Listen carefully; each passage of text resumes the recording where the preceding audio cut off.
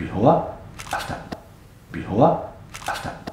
昭和47年1972年なんですけれどもその当時発売されたマツダのサバンナ RX3 ですね。この写真ご覧の通り色がすっかりと褪せてしまってて車体の色がまるで判別できません。こちらの写真の所有者の方にも、まあ、確認したところ車体の色はメタリックブルー。うん、ということが分かりましたまあ、当時のカタログとか限られた資料情報を参考にしながら、まあ、当時の車体の色をできるだけ忠実に再現してみたいと思います。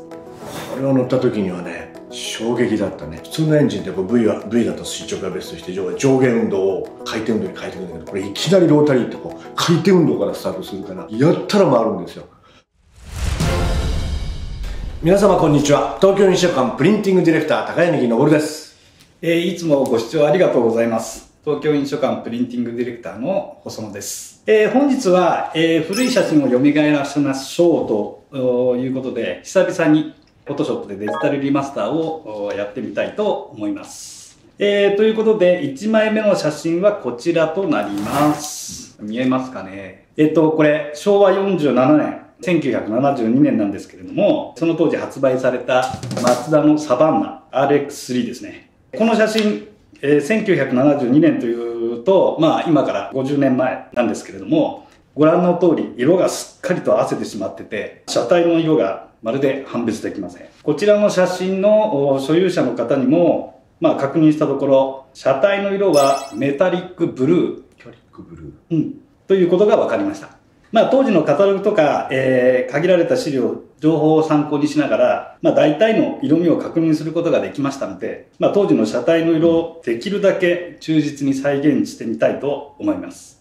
えそれから SNS で色についての情報を提供してくださった方、えー、誠にありがとうございました。えまず修正の流れを説明する前に、原稿をスキャンする工程を少しだけご紹介いたします。はい、じゃあ今、原稿類をドラムスキャナーにかけるための前準備工程としまして、原稿のセッティングを今現在しております。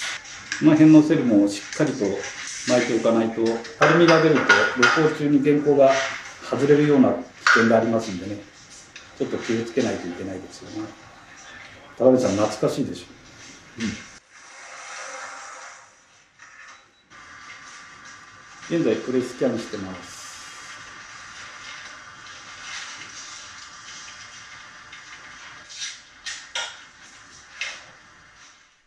はい。では、えー、フォトショップで色を戻していきましょう。先ほど見たこの退色した原稿ですね。で、えー、スキャンした後にですね、あ、ごめんなさい。スキャンしてる最中にですね、これ AI 機能を使って、えー、一時的に退色原稿を戻しております。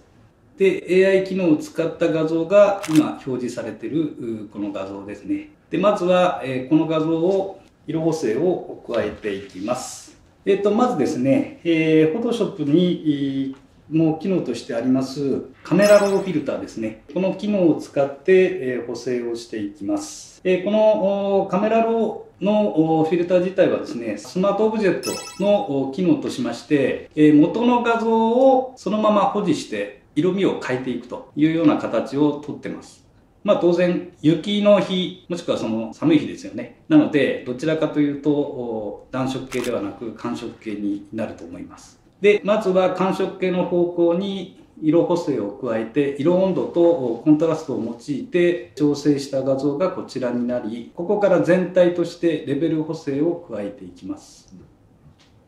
こちらですね、レベル補正を加えて、えー、さらにコントラスト、その他色バランスを調整したものがこちらになります。でそこから今度、地面ですね、今ちょっとかなり青いですけれども、これを、ま、雪解けのちょっと濡れたような路面を調整していきたいと思います。ここもレベル補正、この土の部分だけをレベル補正を加えて少し色気を出して調整していってます。で、その後ですね、え地面を変えたので、今度車体の方に行きたいと思います。で先ほどメタリックブルーっていう話があったと思うんですけれども、そのメタリックブルーを調整していきたいと思います。ここは、えレベル補正ではなくて、トーンカーブを使って調整していきます。調整した色色味としてはこんな感じですね。メタリックブルー。どうですかね、まあ、その方向に来てるとは思うんですけれどもでまずは車体まで地面と車体まで補正を加えたのであとは細かい部分としまして、まあ、ウィンカーだとかフォグランプですよね。この辺の色をちょっと強調してみたいと思います。ちょっと分かりづらいですかね。黄色くなってるよね、いくらかまあ極端にやる必要はないとは思うんで、ただ全体的に見るとこれだとまだ締まりがないかなっていうところで今度はタイヤのあたりをもうちょっと黒々とさせてみたいと思いますこんな感じに。ちょっとまあ雪道を走ったり、まあ、濡れた路面を走ったりしてるんでタイヤ自体が少し汚れた感じになってるんですけれどもここの部分を黒々とちょっと調整してそれっぽい方向に持っていきました。であとはホイールですね。ホイールの部分もコントラストとあとは、まあ、色素ですよね。グレーバランスをうまく調整するような形で陰影をつけて立体感をつけてみました。こんな形で全体の調整をいたしました。でこれでとりあえずは、えー、完成となります。ビフォーアフタービフォーアフターえー、ビフォーアフターに関してどうでしょう、まあ、もしこんな色じゃないよ。ね、ちょっと違うんじゃないかなんていうふうに思った方がいらっしゃいましたらコメントをいただけると嬉しいです。実はですね、えー、これ発売された当初って、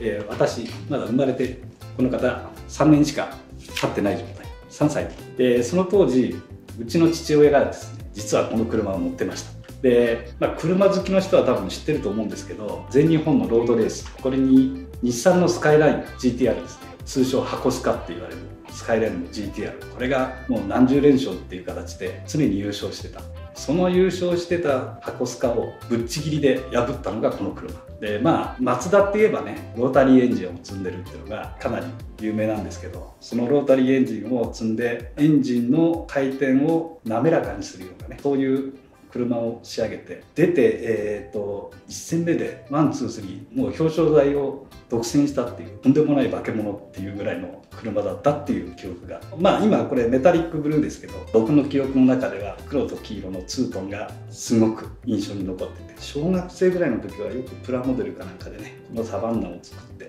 庭先で遊んでたって記憶がありますけどねそんなすごい思い出のある車ですね。私もね車結構好きなんで私は細尾さんと違って、まあ、この時は高校生2年生だからまだサバンナ乗ったことないんですけど二十歳ぐらいの時に学生時代ですね。ファミリアでロータリー積んだ時があったよね。ありましたね。もっと軽い。これの車体が小さくて。これを乗った時にはね衝撃だったね。やっぱり細尾さん先ほど言ってたけど普通のエンジンってこう v, は v だと垂直がベストして上下運動を回転運動に変えていくんだけどこれいきなりロータリーってこう回転運動からスタートするからやったら回るんですよ。そのファミリアのねロータリー乗った時にはねちょっとまだ道路事情悪いとこ走るとギャップとギャップをドンじゃないんだよね。ギャップとギャップを飛ぶんだよね。そういうイメージのファミリアロータリーっていうイメージが私すごいあってハンドルも軽いしね。だある意味車好きの私でも悪路を飛ばす時には怖さを感じた。結構私もロータリーは乗ってみたいと思ったけどどうしても燃費の向上が図れなかったからかな。なかなかもう今ではね作ってない状態なんですよね。そうですね、うん、この当時のロータリーってそれでも燃費を上げるために確かサバンナに関しては、うん、10A から 12A に、うん、その排ガス規制に適合するために、確か改良されてたんだと 13P っていうロータリーなかった13ビロータリーあった。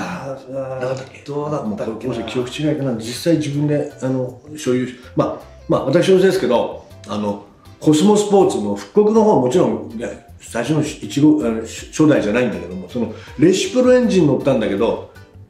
この正直言ってこれまあレシプロだからスイッチこれですレシプロエンジン乗ったけどこれファミリアの方が面白いなと思ったのは記憶にあるね、うん、でも確か13尾はあったと思う。あったねファミリアのレシプロで結構学生の頃流してたけどあんまり面白くなかったな。ファミリア。あのコスモのレシプロエンジンのコスモはねそういう記憶も持ってます。車好きとしては思い出深い車ですよね。さっき言ったその箱スカの GTR ですからね。GTR ぶっちぎったよね。S の20で、うん、あれ確か DOHC なんですよね、うん、DH, DH ダブルオーバーヘッドカムシャフトだから加速はすごくいいはず、でそれに勝ったっていうのはもう本当に鳥肌もん、鳥肌もんだよね。あの当時のね GTR っていうとね、うん、まあ昔懐かしい車ですけどそうそうそうまあ、オーバーフェンダーつけて、うん。で車体を軽くしてダウンフォース決めて。そう。そんな感じで。憧れた。そういうの。に実際学生だったりまだ3歳だからお金ないから できないんだけどそういう車にしてみたいってのあったよね。若い時ね、いまだに車運転してて箱スカだとかね。さすがにこれは全然見ないですけど、サバンナさすがに見ないね。いすずの71あ117クーペとか、たまに見るけどね。よっぽど好きな人はねああいうの見るともうくっついていきたくなりますよね。あれ117ってさデザインはジョージ・アルだっけ？違ったっけ？違ったっけ？あんま余計なこと言うのにやめよう。そうカットしてなんか11のジョージ・アルデザインはジョージ・アルだったような気するんだけどまあいいやそこはちょっとカットしすっごいでもあの衝撃的だったあのデザインは。あれはなかなか作れないですよね、あのデザインは。じゃあ次終わりにしますか。あこの辺で。あの車のことほとんど話したら切りないんで俺